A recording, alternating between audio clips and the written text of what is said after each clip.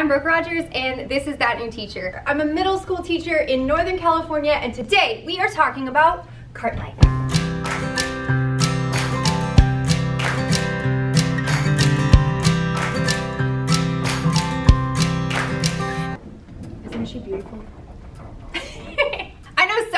Are getting pushed into this cart life, this mobile teaching, traveling teacher lifestyle due to not mixing cohorts or the socially distanced guidelines. So here are five tips that will help you succeed as a cart teacher. All right, tip number one is to have a checklist. This is for whenever you are leaving, either to set out to go to your first classroom of the day or when you're exiting a classroom to move on to the next part of your day. Have you ever walked outside of your house and been like, okay, I've got watch, keys, wallet, phone, check. Okay, I'm out. Like you're ready to go. That's what you have to do for your cart life. How many times have I left my coffee in a classroom? Rip. Or how many times have I left my keys in a classroom or something from my drawer that never made it back? So you wanna kind of have a mental or written checklist for your like main items that you'd never want to forget, like your laptop. Tip number two is pack only the essentials. My first year of teaching, I had my own classroom with bookshelves and a classroom library, and this year I didn't get to have that. I had to break it down to what was absolutely necessary to keep the day moving. So my essentials were things like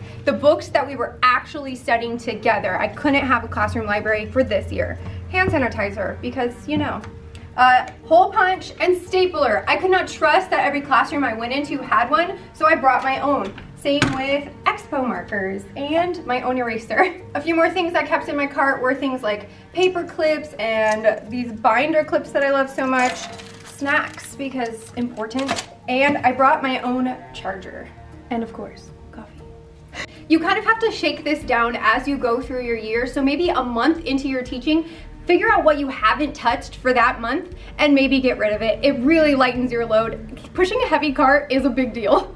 Tip number three, own the room respectfully. If you're a cart teacher, you're probably walking into either another teacher's classroom or for us, it was no one's classroom. We were all rotating, all of the junior high teachers. But no matter what, it feels like you as the teacher are walking in to the student's room. When you walk into the room, set a new tone, set your personality into the classroom. So if you are, you know, domineering and strong, then you bring that energy as you walk into the classroom and set the tone immediately. If you want to bring that joy and that life, you come in booming the music and bring that life into the classroom so the students know this is your room, not just theirs. When you are teaching in that room, it is your room and you have to run it like it is your classroom, but you also have to respect the space and that it might be another teacher's classroom as well.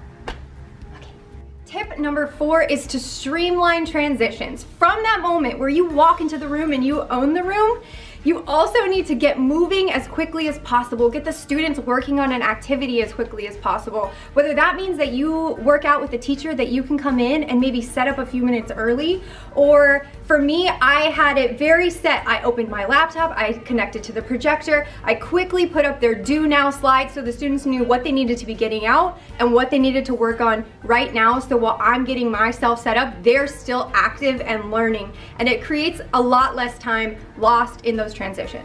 Tip number five, customize.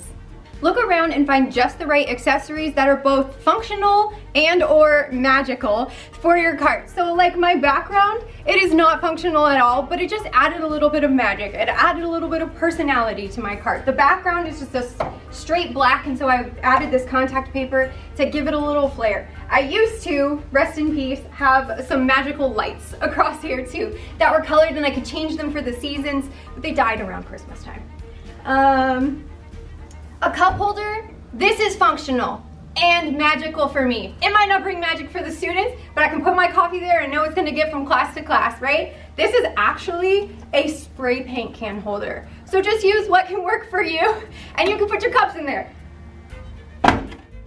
Magic. So some functional items for you might be the cup holder or keeping your markers easy access. Or this is my Carline sheet clipboard that I always wanted to be able to grab right at the end of the day on my way out. So there might be some functional things. Magical things for me were the colors and the lights. My husband, he used to work from a cart. His functional item was he built up a whole whiteboard for his own, so he never had to worry about sharing whiteboard space. And he also had a boom box, because he was the music teacher, that he played music wherever he went. So whatever works for you, just add a little bit of functionality functionality, a little bit of magical light to your cart, and then it can become yours and you can bring some joy wherever you go. So those were five tips to help you with your traveling teacher life. I will see you in the next video where I break down every accessory on my cart. All right, I said five tips, but I have a last bonus tip for you. Some of my coworkers ditched the cart altogether and lived out of a backpack or a rolling cart so that they could be a lot more minimal in their things. I carried along a lot of books and a lot of copies, so that did not work for me. But find out what works for you. Try it for a week. See what it's like to go without a cart and just use a backpack. Whatever you do, make it yours and make it fun. I do have chips.